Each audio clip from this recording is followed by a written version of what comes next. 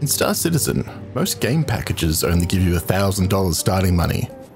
With an extra 5,000 bucks if you use my referral code when you buy the game, code STAR-P7MNK43K.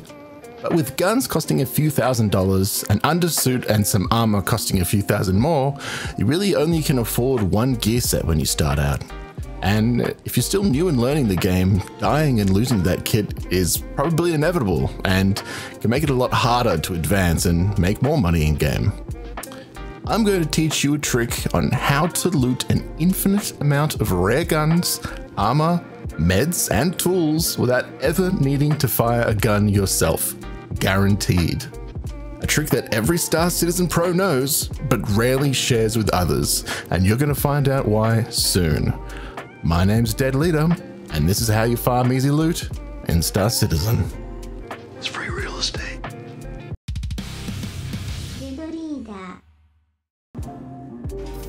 Alright, so today I'm going to show you how to farm loot in Star Citizen.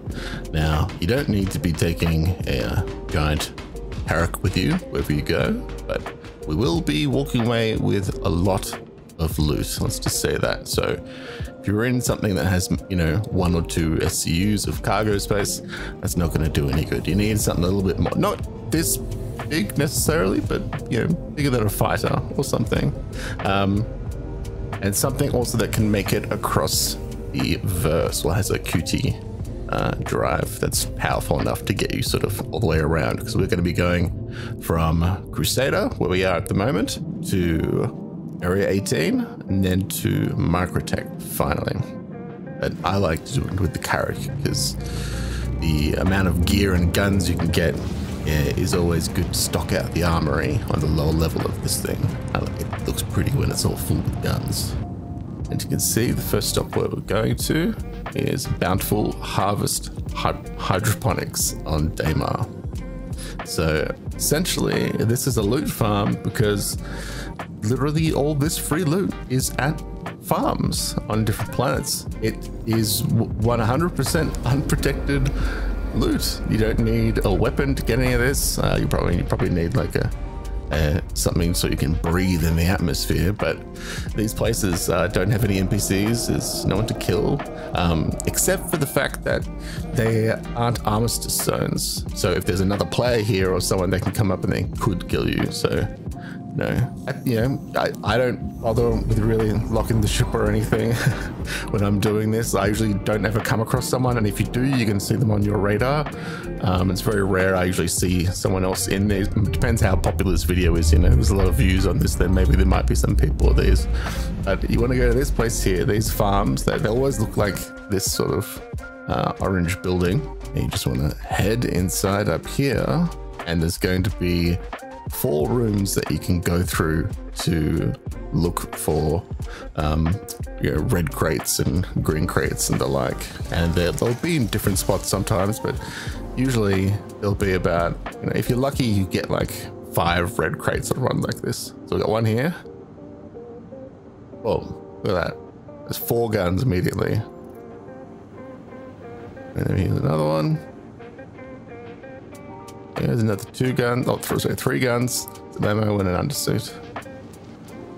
So, like, the starting money you get in the game, that would probably cost more than the starting money you'd already be getting. So we're already in profit. Here you go. This one's got all the health stuff you might need.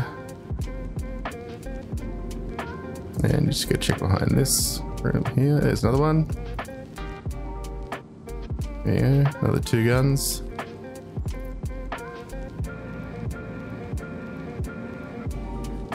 There used to be some one on top of that um, deposit machine, but I think they stopped doing that.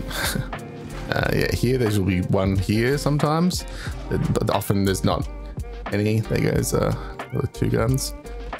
And I always check behind there. I think there used to be one, but now I, I always check out of uh, instinct. And in here, there's usually usually one down by the door uh, to the left when we come in, or to the right, just the machine. There could be one sometimes, but there's none here this time. All right. So that's the first one on Daymar.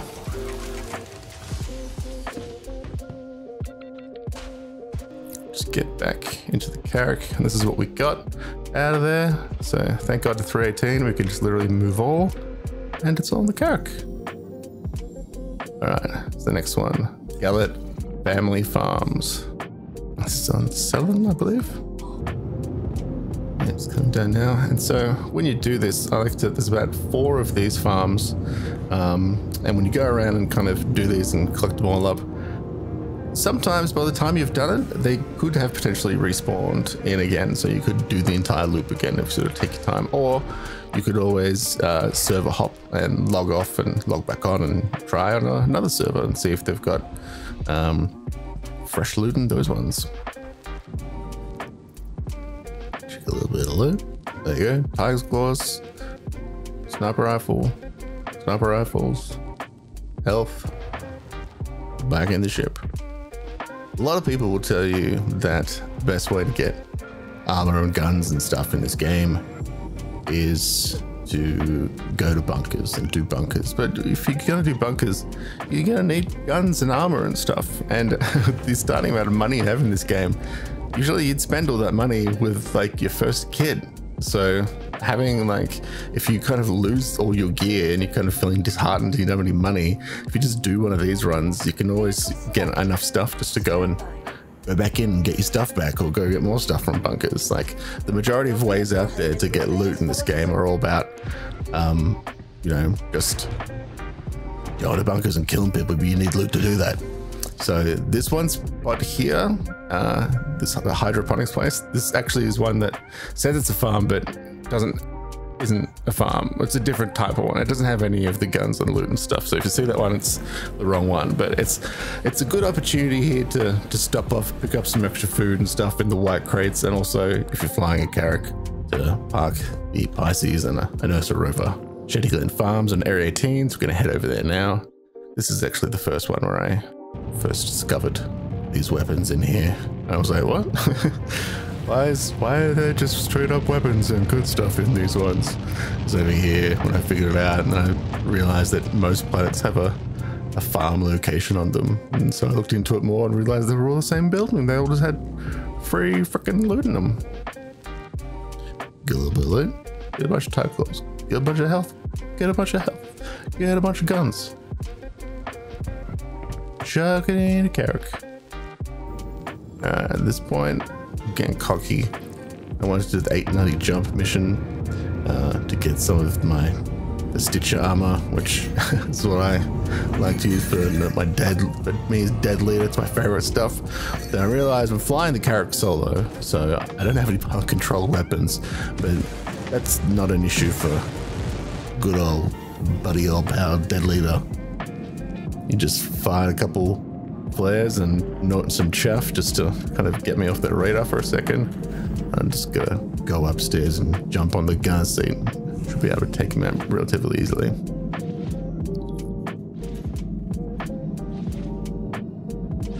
And I've got a good enough shield on this that got energy weapons, they ain't getting in here. Boom. Boom. Soft death. Alright. So this mission's changed a fair bit actually, but if you want to see how to do this one, I've got another video on it.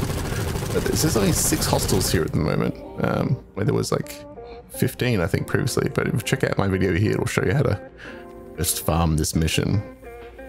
I had a little problem here where for some reason the med got trying to pick up things that just crashed the game.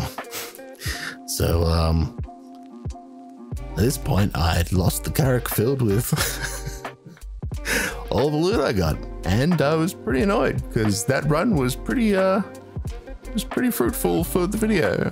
But I decided to keep going on I, I, went back to try and find if the Carrack was there, you know, the Pez and all that, but I think I got into a different shard, so it wasn't there. And I think uh, someone else would have had a good payday if they came across it.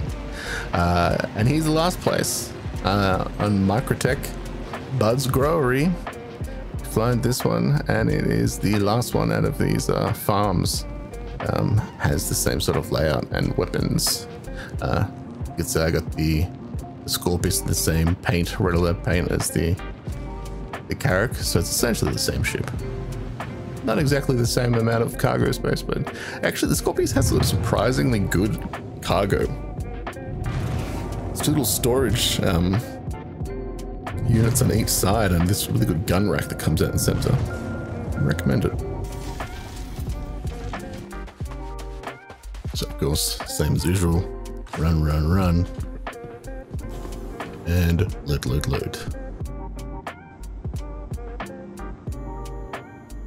This was particularly good haul here. So yeah, that is my tips for the best way to farm loot and for the best start in 318 or of any wipe really. Like running to all these places to clear out those red boxes are gonna get your arsenal just filled to the brim with gear. So once again, my name's DedLeader. I'll see you out in the verse.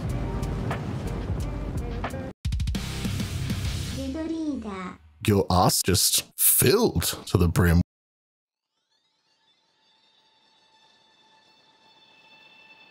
Space.